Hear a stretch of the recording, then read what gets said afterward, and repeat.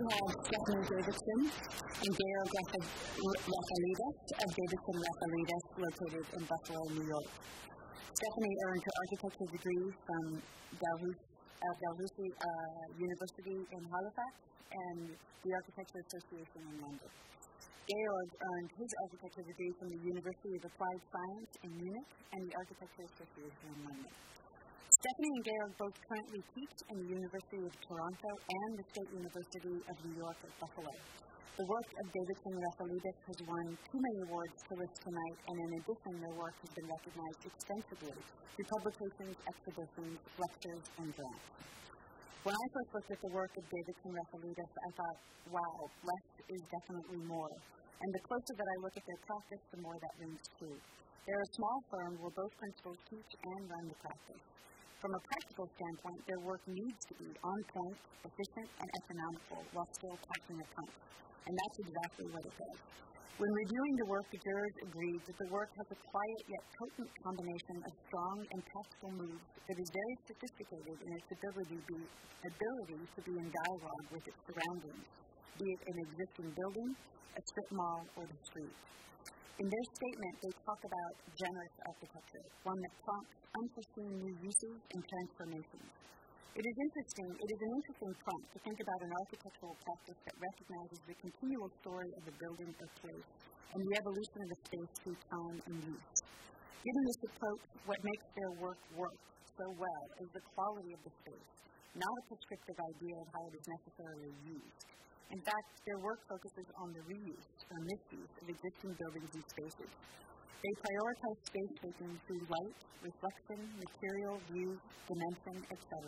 You sense when you look at the work. It is open and yet highly calibrated. In a time where we are always creating checklists for LEED certification and quantifying what is sustainable, the design of spaces that are in it for the long game, spaces that create a real sense of place where you can imagine many different types of activity happening, perhaps that is the highest standard of sustainability. As you will see tonight, Davidson Rafailidis' work achieves this and much more. Please join me in welcoming Stephanie and Georg of Davidson Rafailidis.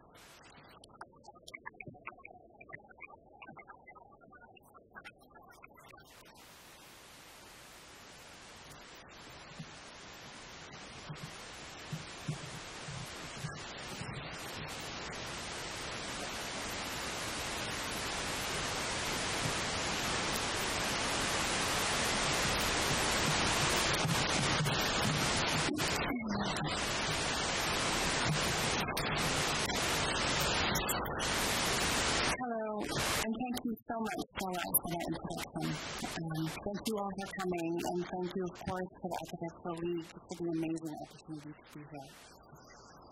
In this presentation, we'd like to share some work and some of the thinking behind the work. Each project that we do is a study without a distinct beginning and end.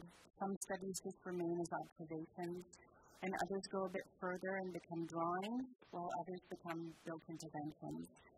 But even if or when projects are realized, we continue to study them since we see spaces as dynamic, ever changing, and animate, animate things.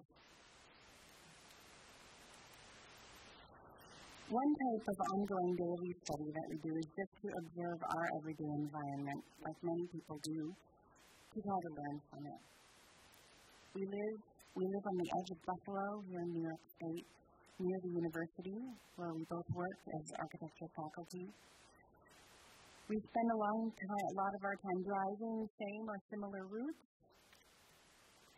and we notice buildings or situations or atmospheres that interest us for some reason. One main insight that we get by looking around in our built environment is that over time, many buildings stray from the original intentions of a designer or the of the client or the, or the desires of the owner. Just like people's lives, these buildings and cities go through phases and constant change. Buildings develop lives of their own, they can be unpredictable, they become spaces and places that the original designer or owner might not have ever imagined. And so, a main approach that runs through all of our studies is a recognition that buildings very often outlive their intended use. So in all of our studies that we'll show, we ask ourselves, how can we create buildings that are meaningful for the long term when uses and business plans are so short-lived? And what does it mean for our design process when programs are the most short-lived and inconsequential part of buildings?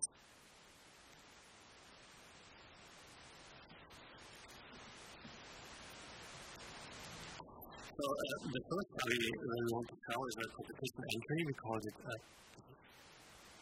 um, we call it zoning, and it was our uh, entry to the competition with strip appeal, reinventing um, the strip mall. Organized by the University of Alberta uh, in Canada, and it asked designers to tackle the question of uh, the dying strip mall. This is something.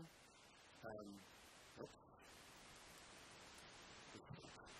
this is something that we also encounter in our day-to-day experience um, uh, in Buffalo. So we chose a case study. Um, uh, it's called uh, Central Park Plaza in Buffalo. And what we did is um, what we always do when we start studying um, an object, we started drawing it. So we got like an infrastructure plan in the city. Um, we, we, measured the building, we made an inventory of all the building elements, and um, we actually decided to make a stop motion animation uh, for the project to present it. And what you see here actually slides, like the stop motion animation, like over a thousand slides. We also looked at um, historic examples or precedents where um, a big structure became obsolete.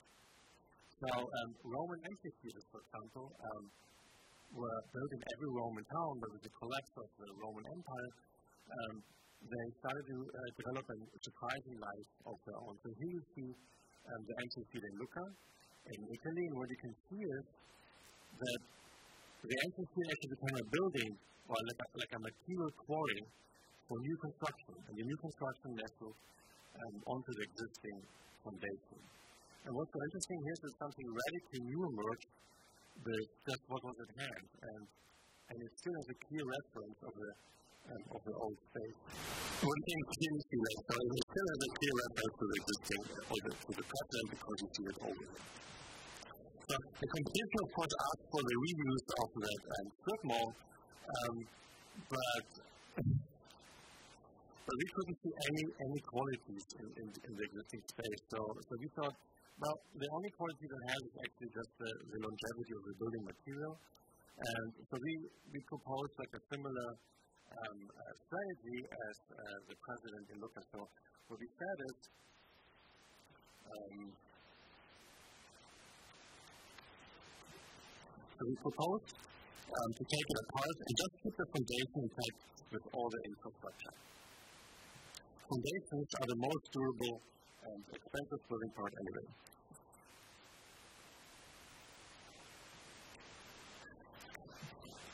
We also propose lift uh, all zoning restrictions on the site and allow users to repurpose the building components from the mall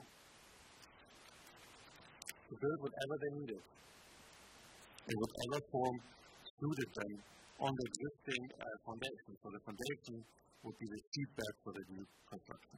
So we created this very large drawing, um, which became like a narrative drawing. It contained so much information that you could zoom in and in and always discover something new, like, like zooming in Google Earth.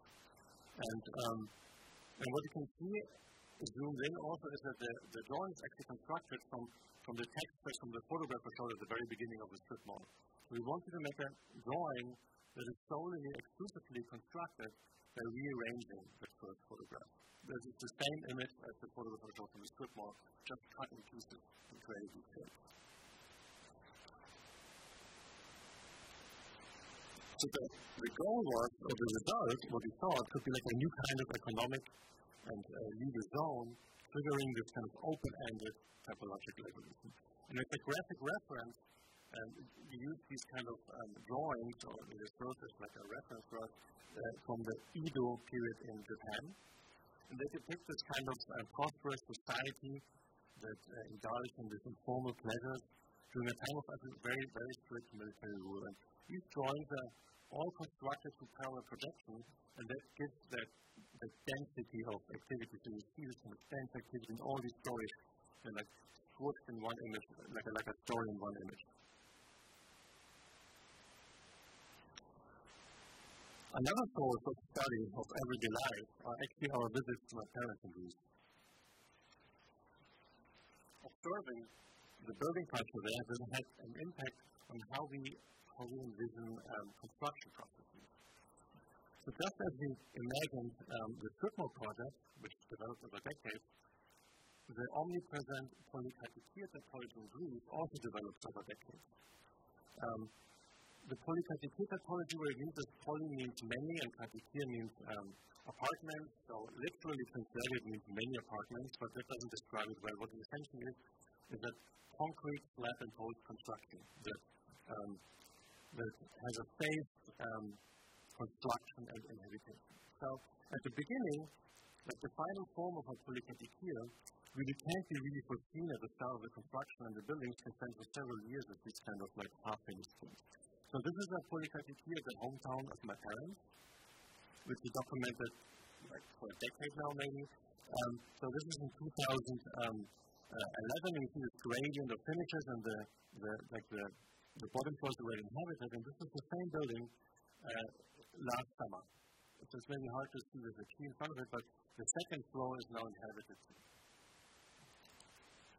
So what we find so interesting in these structures that um, that not only serve as single users, they're, like, they're related to the notion of polyvalency as developed by the Dutch architect Herman Hertzberger. And what's interesting about these structures is that these structures, um, they, the meaning of the form of these structures is not just inherent in the building, it's actually constantly renegotiated with each individual user and the building. So it's, a constant relationship and it can always be different. And, and the building is an active part of it. It's not a passive object. The, the building is a partner in that relationship.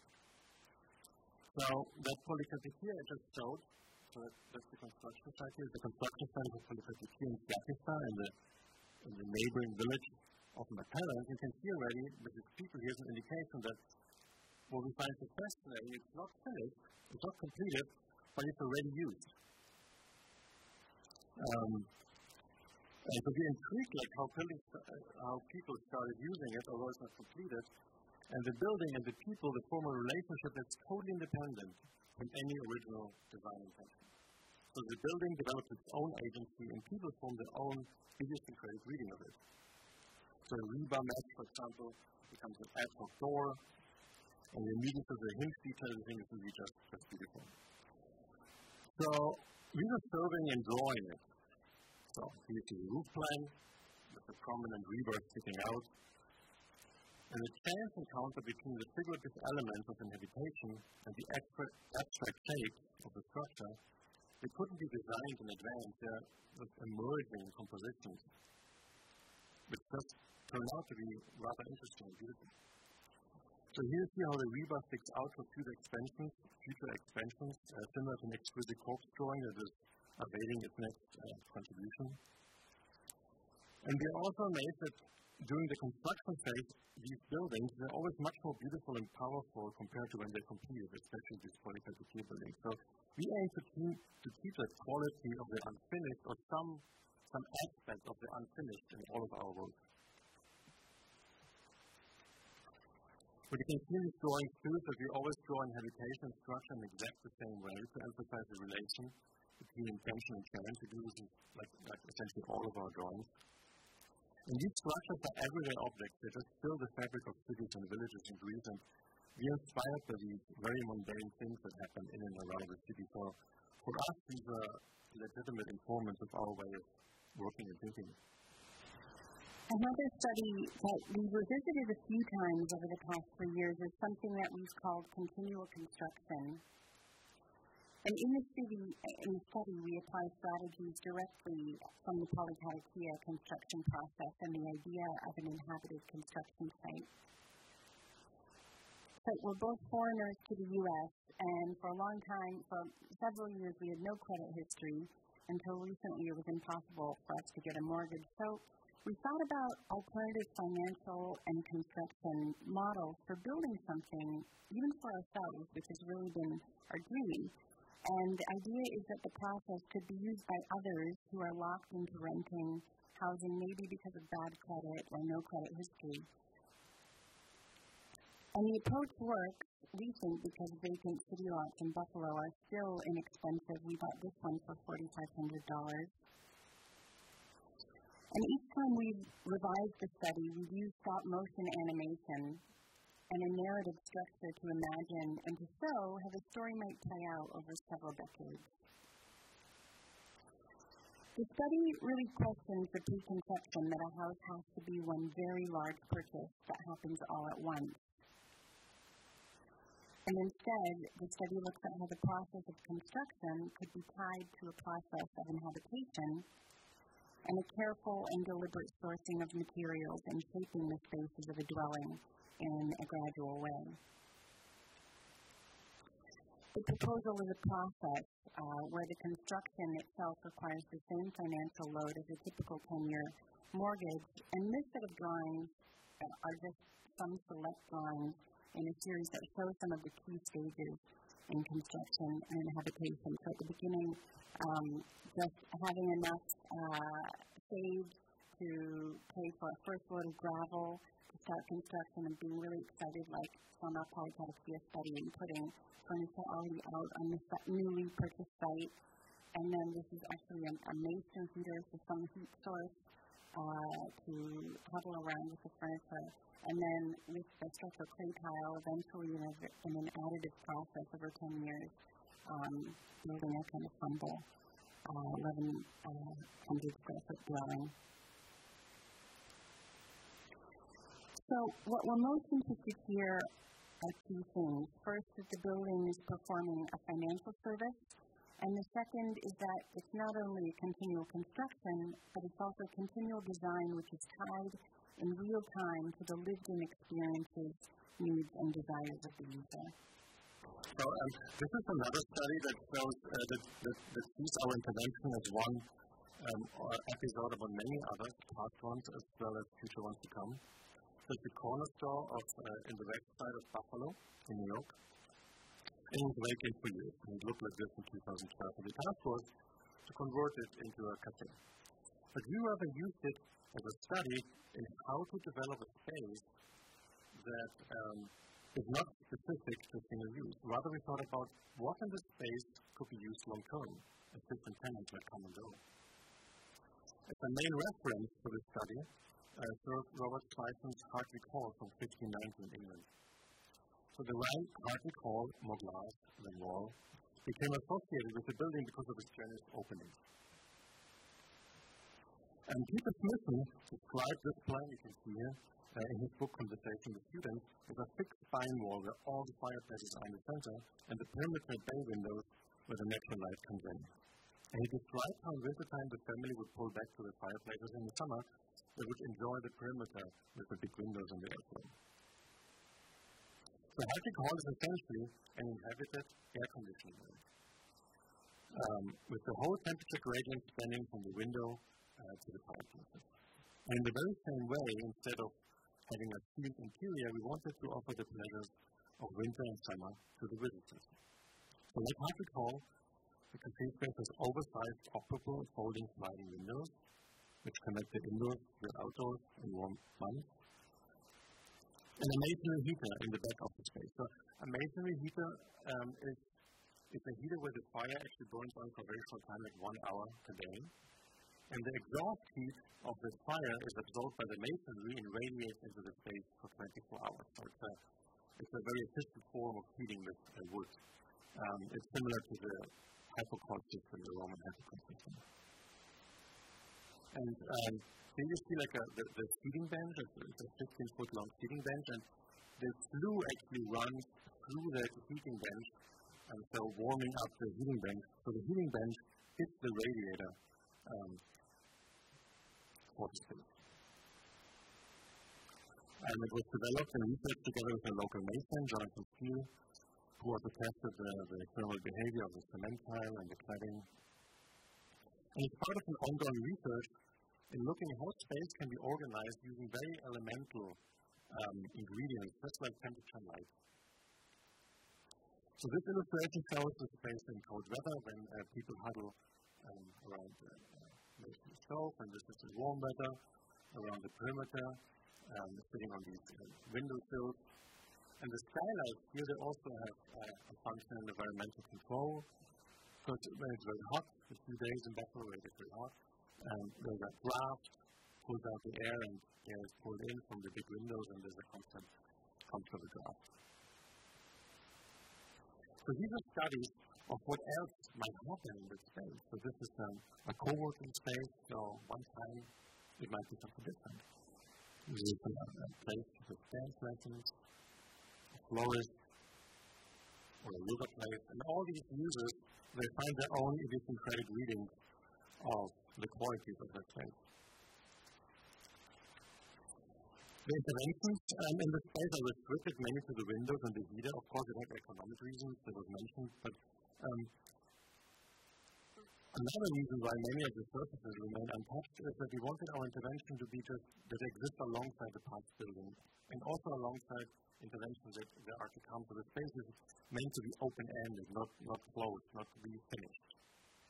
Um, and the, the, object, the objective was that the interventions help the space to live longer and function longer without the need for expensive remodeling or demolition. And because it's been in use for a few years now, we have the chance to actually study it also in Buffalo's climate and long winters. And it's been enjoyable to watch the very instinctive responses to the space, which are totally independent from any official program. In this, in this most recent study, um, just realized this past summer, similar to, to the cafe, the spatial qualities transform radically together with the seasons, and changes made to the space I thought of as not specific to just one use. The building was originally used as a taxi cab repair shop, and like the cafe, it dates back to the 1920s. Because the building is located in the historic district, the conditional variance was given to convert it to a garage for living space, provided that no changes were made to the exterior shell, the facade. So one strategy that we used was to keep the roof of the fifth facade and insert 10 operable skylights and a roof hatch for natural light, ventilation, and roof access. Here you see a model study with and without skylight. So with the main user of the space changing from cars to people, increased natural light and ventilation were important, we thought. This is just showing a moment when the decking was cut and the light seems to be impatiently waiting to rush in, which it then did and, and really the space, space. So, like other projects, we approached this as a study. And at the beginning, we looked very closely at the existing plan, the existing geometries and material palette. Normally, we try, like Stella mentioned, to change as little as possible and add as little as possible.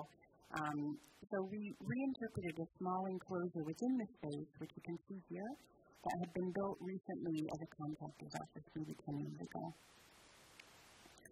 In our study of the space, our interpretation showed the little enclosure which you see here as an overlap between the bigger spaces A and the exterior garden A and the big workshop.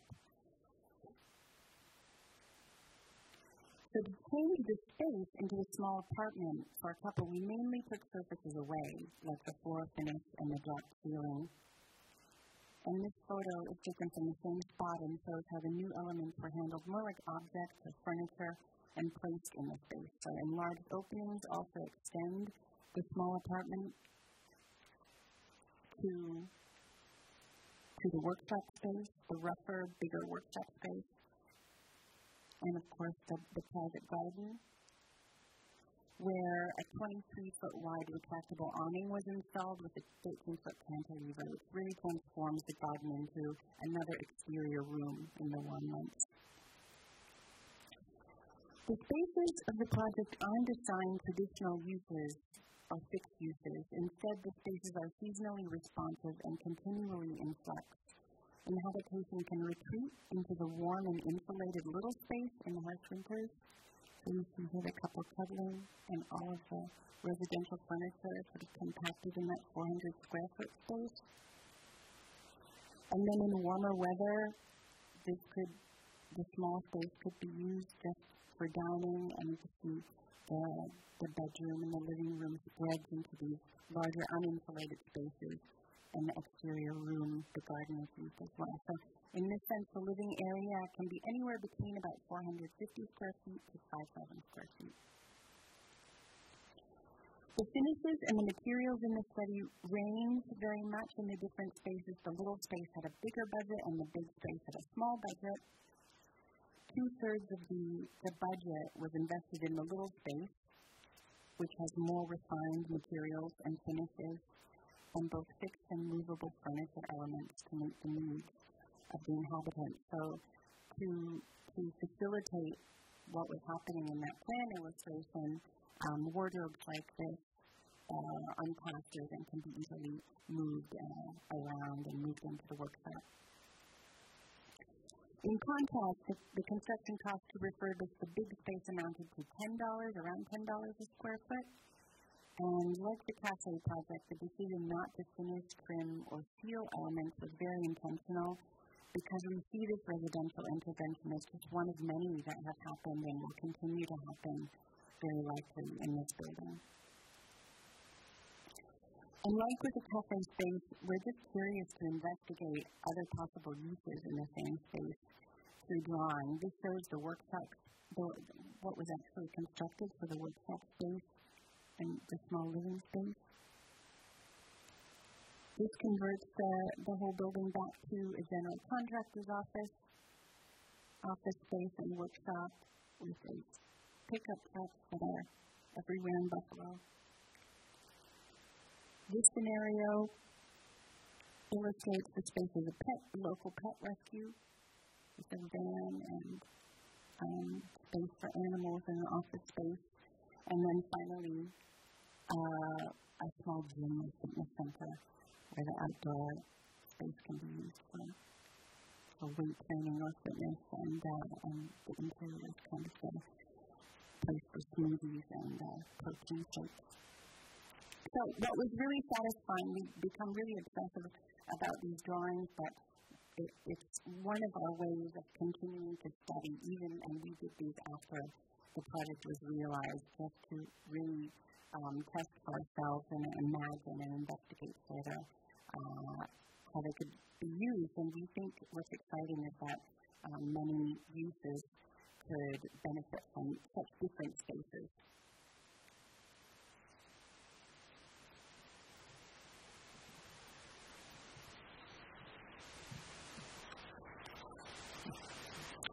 Uh, notice that uh, another study which um, coincidentally um, also addresses two distinct cases,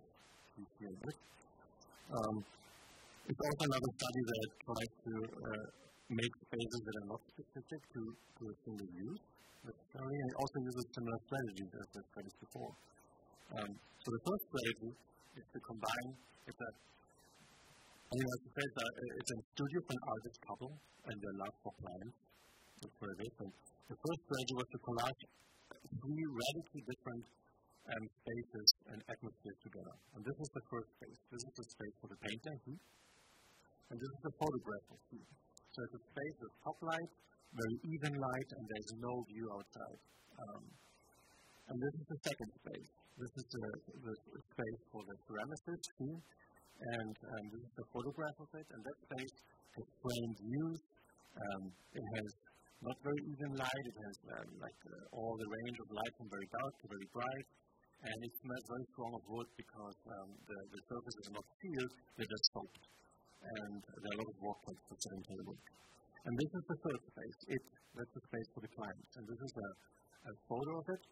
And, and that's a space that um, is direct from that. So that's like nearly outside. Like the, the light comes in from all sides and the colors come in, but there's no there's no direct view, so the view is kind of blurry things. It's nearly outside. Um, and you see these three spaces like three characters, like three characters, like animate things that um, that we need to, to relate to. And here in this image, you see how these three spaces um, are combined together. Um, and um, they combine together in a very hard way. There's a hard collision of these three very different atmospheres, and that, that exaggerates and amplifies these different um, uh, atmospheres, and also it becomes like this kind of that asks, like, what else could I actually be? Because it's so overpowering these different qualities smushed together. And what we can also see the second strategy is that there's a hard cut here.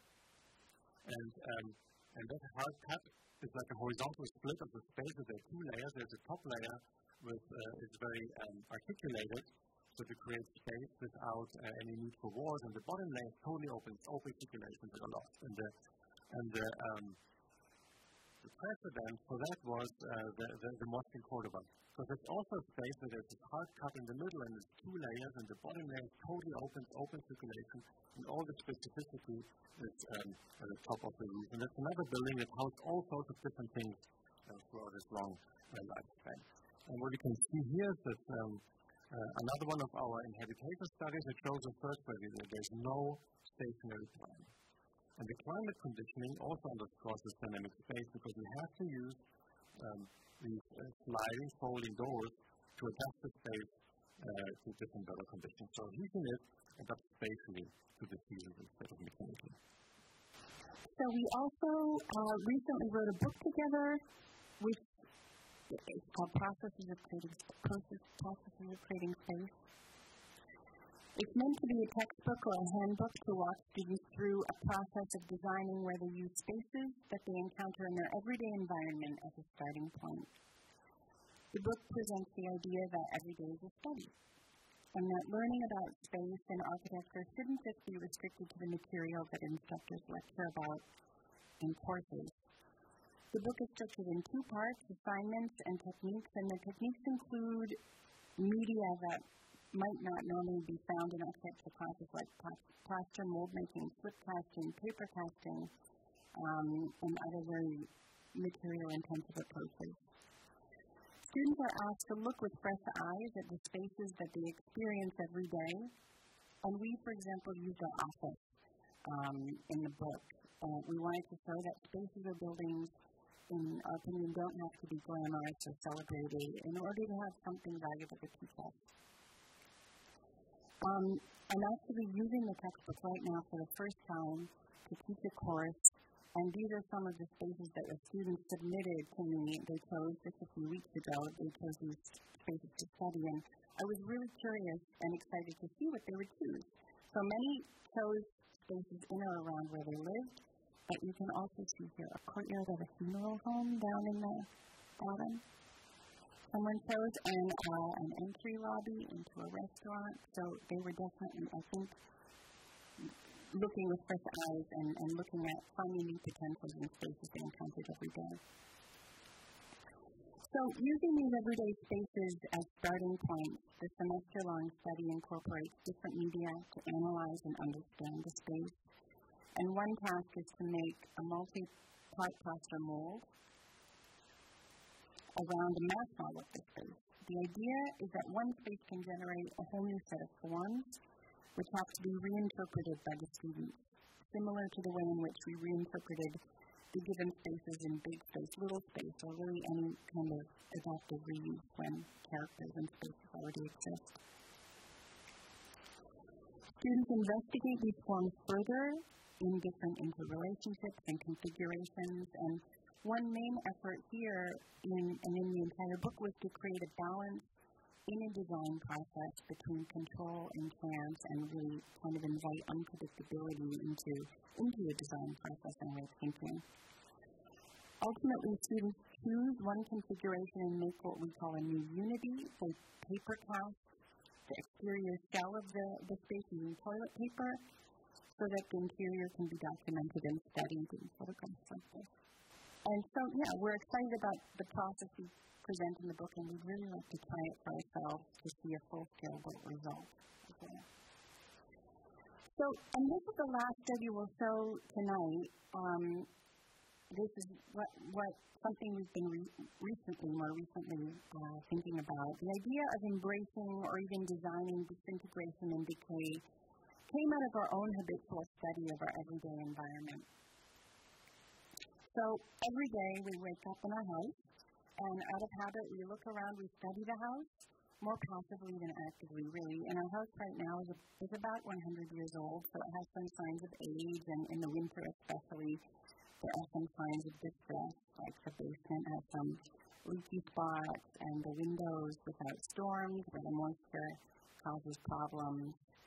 There's some slowly rotting wood at one corner, exterior that sits in the snow and moisture year after year. On the inside, there are some things that are broken here and there. They give us kind of peeks into the layers of construction. There are a lot of cracks in our house. They get bigger in the winter. There, there's condensation between the window panes, stairs that are tipping over because of a rotten post in the basement. Things generally shifted and just not square anymore.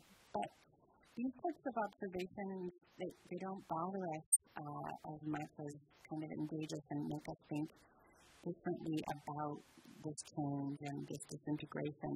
The, the observations, together with all the studies where we look at how buildings outlive uses and normally outlive us, made us wonder about the opposite. So we wondered what could happen if we embraced disintegration and decay and designed short-term spaces that were meant to decompose after their intended use, instead of dealing with issues like vacant strip malls littering the landscape. So over the past couple of years, we've taught studios where we've asked students to cast thin shell structures with cellulose material, uh, building on the toilet paper casting from the book.